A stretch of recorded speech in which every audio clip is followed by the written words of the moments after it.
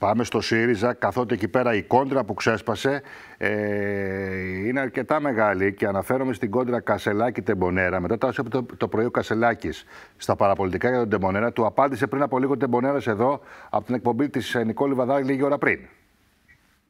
Έτσι, ο κύριος Κασελάκης, καταρχήν να πούμε ότι έβγαλε αρκετές ειδήσεις στη σημερινή του συνέντευξη, απίφθηνα αφενός πρόσκληση στην κοινοβουλευτική ομάδα του ΠΑΣΟΚ για συνεργασία σε προτάσεις νόμου, αλλά έστελνε και... Όχι συνεργασία, μόνο για προτάσεις νόμου να καταθέτουν από κοινού κάποιες προτάσεις νόμου, αυτό είπε. Όχι συνεργασία Έτσι, κομματική. Ξεκαθάρισε, όχι κομματικής ναι. σε επίπεδο κοινοβουλευτικό ναι. και το ξεκαθάρισε αυτό. Είπε ότι δεν τίνει χειραφιλία γενικά προς την Χαριλάου ναι. Τρικούπη και μάλιστα αναφερόμενος και στην ηγεσία είπε ότι είναι, γνωστά, είναι γνωστή το τηλεφωνικό του νούμερο, αν θέλει να τον καλέσει ο κ. Ανδρουλάκης. Από εκεί και πέρα ε, για τα ισοκομματικά έστειλε χειρά μηνύματα στην ισοκομματική αντιπολίτευση ο κ. Κασελάκης. Ε, είπε ότι όποιος δεν θέλει να παραμείνει στο κόμμα δεν το κρατάει κανείς. Καλά, αυτό αναφερόταν γιατί η ερώτηση ήταν για τον Τεμπονέρα, για την πρωτοβουλία για Τεμπονέρα. Τεμπονέρα. Αναφερόταν σε αυτό και ο κύριος Τεμπονέρας λίγη ώρα πριν εδώ του απάντησε.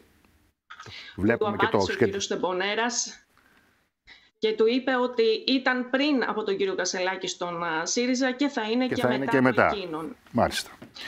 Απάντησε και γενικότερα στα ισοκομματικά πειρά που δέχεται ο κύριος πάντως, Κασελάκης. Ε, όπως, όπως τον άκουσα εγώ το πρωί στα παραπολιτικά, στο ραδιόφωνο, ικανοποιημένος δήλωσε το αποτέλεσμα. Δεν έχω να απολογηθώ λέει σε τίποτα. Πήγαμε καλά, προχωρούμε. Δήλωσε υπερήφανος Υπερήφανος. για τις εκλογικές επιδόσεις του. Είπε ότι δεδομένων των συσχετισμών α, κατάφερε ένα καλό αποτέλεσμα. Από εκεί πέρα όμως είπε ότι δεν πετάει και από τη χαρά του. Μάλιστα.